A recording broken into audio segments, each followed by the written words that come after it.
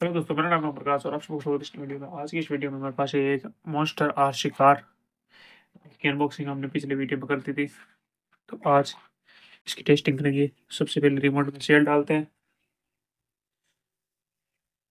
तो आपको दो घड़ी के सेल ले लें और इनको इनमें डालना है दोनों। ये डालते हैं सेल और अब देखते रिमोट ये देखिए रिमोट वर्क कर रहा है अच्छे से। और कार को चार्ज करते हैं पहले इसे मैंने दोस्तों कार को घंटे करीब एक डेढ़ घंटे के लिए चार्ज कर लिया। अब इसकी टेस्टिंग करते हैं अच्छे से।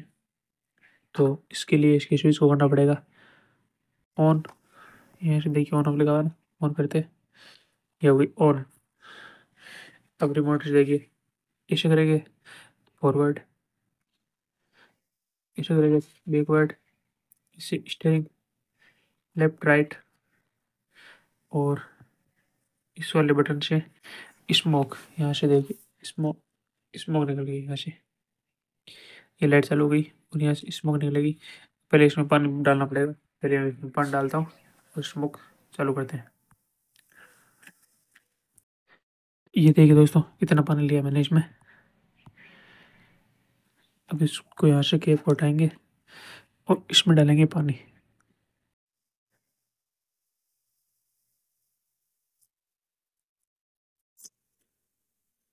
शायद ब्रिज गया है।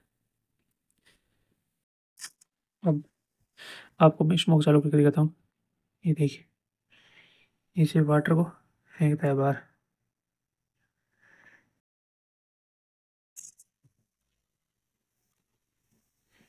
ये देखिए। कुछ इस प्रकार का